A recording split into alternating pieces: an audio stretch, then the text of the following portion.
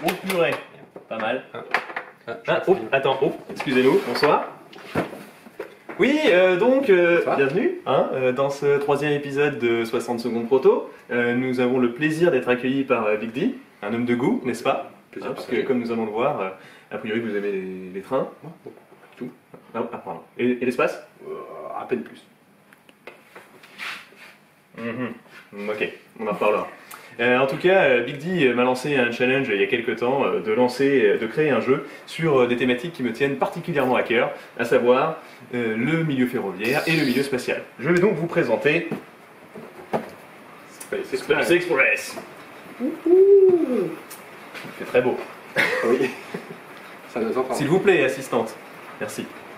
Ah, il faut se faire respecter par le petit personnel de nos jours. Bien, donc euh, dans euh, Space Express, un jeu pour 2 à 6 joueurs, euh, qui se joue ma foi euh, fort vite, nous allons avoir euh, différents euh, cubes et nous allons euh, étendre le réseau intergalactique qui Hop, part hop, hop, depuis... hop. Commence pas trop là, hein, t'as pas, pas mis le chrono Ouais, oui, mais c'est pas moi les règles, c'est la, c'est la Ah. thématique, le contexte. Je, je, je, tu vois, je décore. Là, tu triches. Non, non, non. On en reparlera dans la version 15 secondes tout à l'heure. Euh, la planète Terre qui se trouve là, et puis euh, voilà. Donc, comment ça se passe Effectivement, 60 secondes, tu as raison. C'est parti. Donc, nous avons des cubes qui nous permettent d'étendre le réseau spatial, comme je l'évoquais tout à l'heure. À mon tour, je dispose de 7 cubes réseau au début. Je dois en relancer au moins un, voire plusieurs. Donc là, par exemple, j'en lance 3. Voilà, je dispose de l'intégralité de mes cubes que je peux faire pivoter pour décider de ce que je vais en faire. Je peux jouer la totalité de mes cubes. La seule règle, c'est que je dois étendre le réseau déjà posé par les autres joueurs. Donc par exemple ici, je vais poser ce cube qui va me permettre de relier une planète.